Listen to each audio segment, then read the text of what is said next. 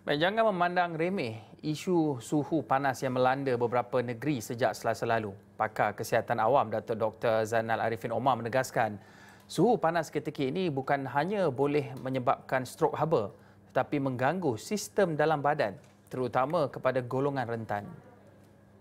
Menurut Dr. Zainal Arifin, orang ramai perlu faham bahawa emosi juga mudah terganggu akibat suhu panas yang melampau ini yang kadang-kadang kita orang tak ambil hirau ya bahawa kalau keadaan panas ni sebenarnya dia mengganggu emosi tu dari segi satu kekeliruan. Dia punya apa tu pemikirannya ada kesabarannya tidak ada jadi cepat marah.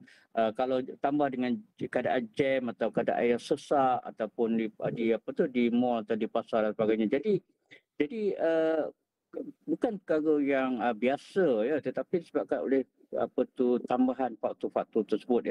Jadi uh, kita mesti faham dan uh, menanganinya dengan dengan dengan betul. Kalau tidak stres ya, stres kerana haba dan juga stres kerana keadaan persekitaran yang apa tu agak uh, me, me, me, apa, menyusahkanlah. Beliau juga menjelaskan sekiranya orang ramai tidak berjaga-jaga, cuaca panas yang dialami juga boleh menyebabkan kesesakan di semua fasiliti kesihatan.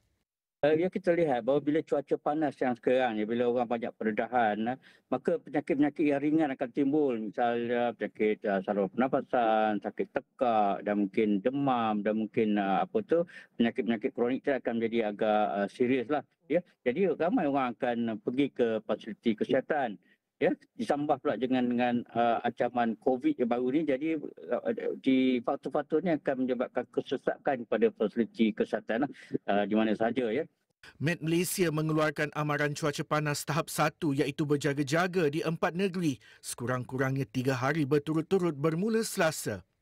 Ia melibatkan Kedah, Kelantan, Terengganu dan Sabah.